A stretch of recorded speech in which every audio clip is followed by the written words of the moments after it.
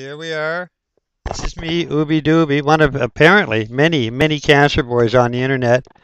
Phil, for some reason, has taken a dislike to my friend Orville, who is here visiting me from Ontario.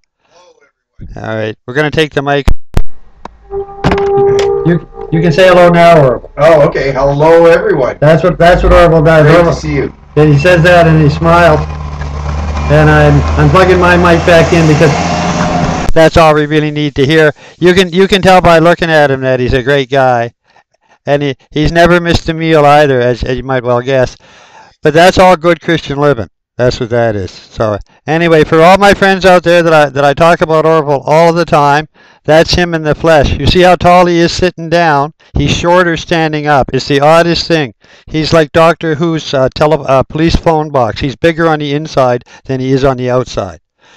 Anyway, there he is in all his glory, my friend Orville, pastor of what I understand. I've been lying to you people. It's not the second largest United Church in Canada, after all.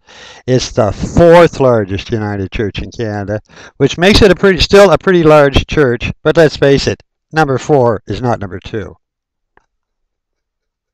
Anyway, so that's it. That's all it is today from uh, from Halifax. As you can see, it's a it's a lovely day. Whoops, it's a lovely day. We're all here in the light and we're and Orville and I are going to go out and buy cream of wheat today for a friend, and then we're going to do we're going to do non-cancer related stuff the whole rest of the day. But for any of you people out there that uh, that care, Poppy and Linny and Ellie and everyone, that's my good friend Orville.